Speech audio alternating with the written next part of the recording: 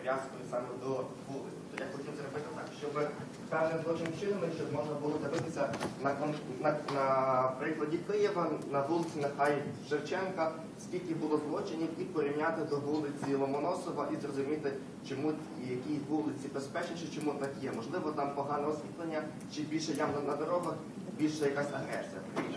Це в ідеалі виглядає. Насправді е, зараз трошки простіше, так як я відштовхуюсь від тих даних, які я зміг отримати і зміг знайти, тобто від даних МВС.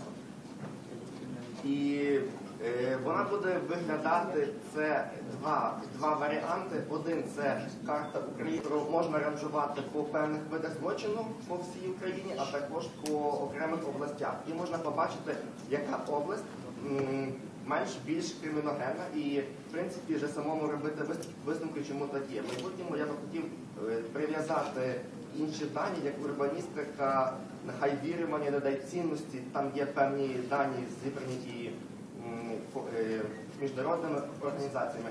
Зараз це більше просто прив'язка до областей чи до районів міста Києва. Це інший варіант. Це зробити по Києву і побачити, який район найкращий.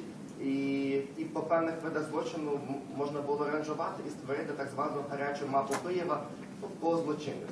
І для цього мені потрібні програмісти, особливо і, які вміють робити JavaScript, тому що в принципі я знайшов е, один проект, він створений був у Берліні, і він досить непогано виглядає. І я поговорив з автором, з німцем, він каже, що це досить неважко, тільки якщо той вміє програмувати, використовується е, е, технологія Open Layers і можна створити таку файл.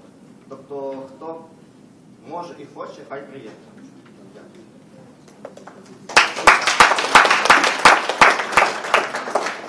А, После того, как закончатся все презентации, авторы идей вас будут ждать с открытым